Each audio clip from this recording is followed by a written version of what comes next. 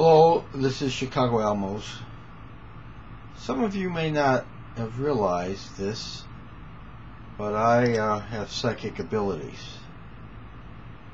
I used to work for a psychic network where they would feed calls to me uh, uh, from TV ads, and uh, I used to solve problems with feelings and visions. They used to forward the, the calls to me as I, I, I would log on to a computer with my telephone. So I'm an experienced, successful psychic, but I'm taking it to a higher level now.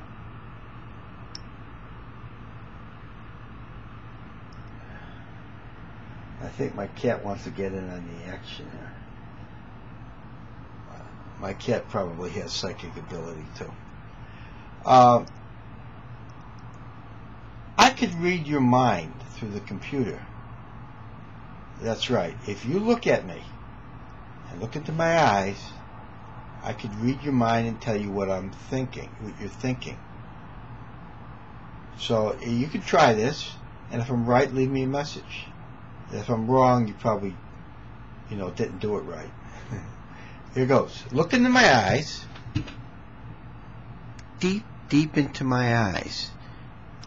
Before my cat knocks down the camera. That was good enough. I got it. You were thinking that I'm full of shit. And that I can't read minds at all. If I was right, leave me a message. If I was wrong, leave me a message. And we'll see if more people thought I was right than wrong. Thank you very much.